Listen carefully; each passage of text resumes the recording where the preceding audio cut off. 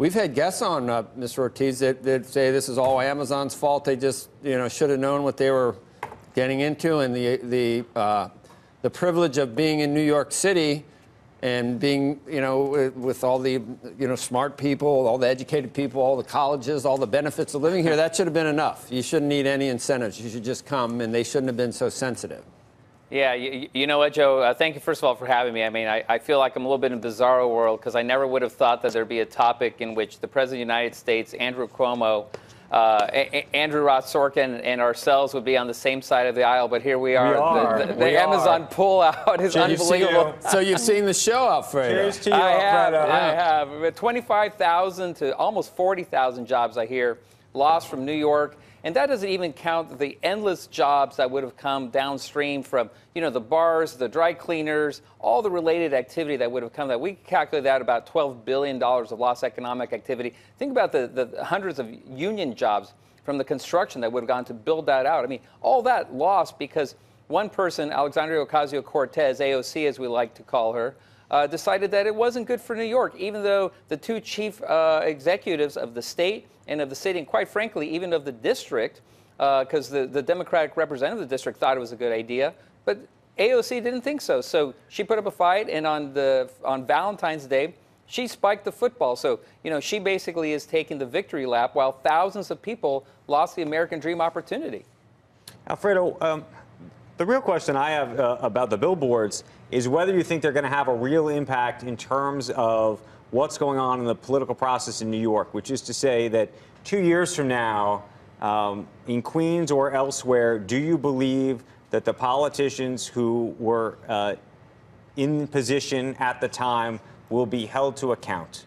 Well, you know, remember, uh, uh, Mayor de Blasio, first of all, was for before he was against it, I guess. But, you know, when you think of Governor Cuomo, Governor Cuomo is still saying he doesn't even believe what, what's happening and how this has actually happened.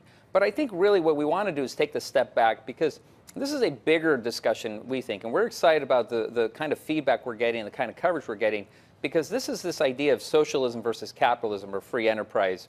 One of the things that we like to say is that socialism takes but capitalism creates. And we can see what socialism did here. It took away 25 to 40,000 great paying jobs. We calculate somewhere between $4 billion to $6 billion in lost wages for New Yorkers, right? But on a broader basis, we have to have this conversation. Uh, you know, and I applaud President Trump for really drawing that sand in the line at the State of the Union and saying this will not be a socialist country. But you have to tell you, it's a little sad to think that we are now at a point in history in the United States where an American president actually has to make the claim that we will not be a socialist country. Alfredo, though, but here's here's the here's the conundrum as I see it, um, and, and we're on the same side of this this particular Amazon issue, and yet at the same time, it feels like this this particular set of facts makes it hard to argue uh, for the issue of socialism uh, versus anything uh, versus capitalism, in large part because people look at the what the Amazon transaction they call it corporate welfare.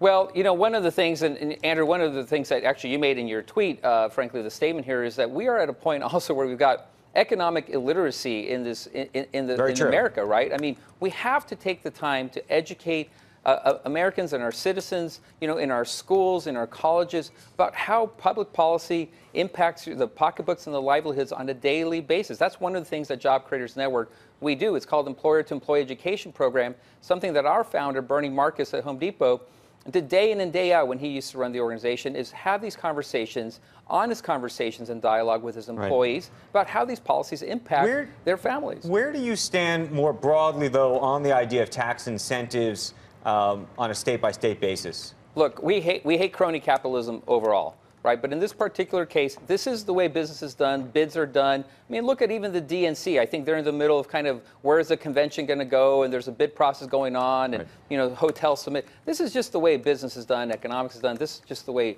uh, uh, again, you know, free enterprise works. And so, tax incentives, from my perspective, again.